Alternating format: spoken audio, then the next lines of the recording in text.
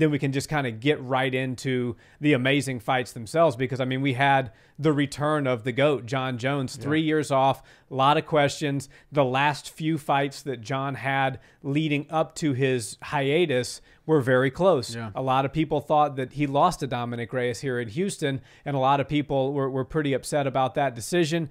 He came back and said, Look, let me let me remind you guys just exactly who I am. Cyril Gane is a guy who went five rounds with Francis Ngannou. That fight was uber close. If it weren't for a few mistakes by Gane, he probably could have won that fight. Jon walked in there and made him look like he was a first day white belt on the mats as far as taking him down and submitting him goes. What do you what do you make of Jon's performance? Because we did there was a lot of questions coming into it, and there's really no questions coming out of it. Yeah, no, Jon Jones is the goat. Uh, you're not going to find somebody who just has that champion mindset more than Jon Jones. And you know, I, I have never met Jon prior to this week but I can tell you for sure, once I met him and we were chilling in the in the PI and sort of just getting to talk to him and and getting to sort of feel him out, I was like, oh god, this this dude is operating on a different frequency and.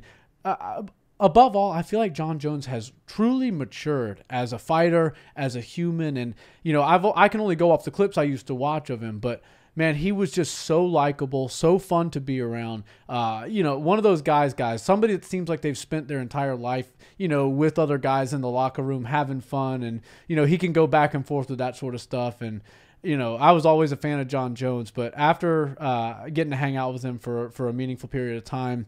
I was like, I, I'm I'm full blown Team Jones. I think he's the goat.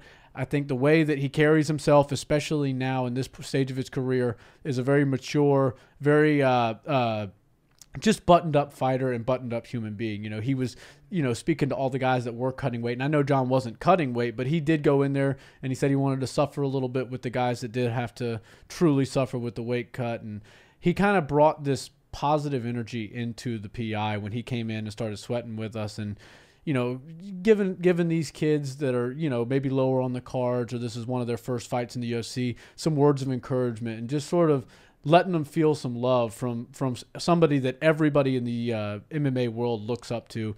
It was it was really cool, and I felt like Jon Jones is not just doing this for for uh, his own just like you know recognition. He's not doing this for for all of that. He's doing this because he truly wants to be the greatest in the world and he truly loves this sport. He's passionate about it and not only passionate about it for his own career, but passionate for all the other people. Like he knows the type of influence that he's had on these young fighters and these people watching the sport.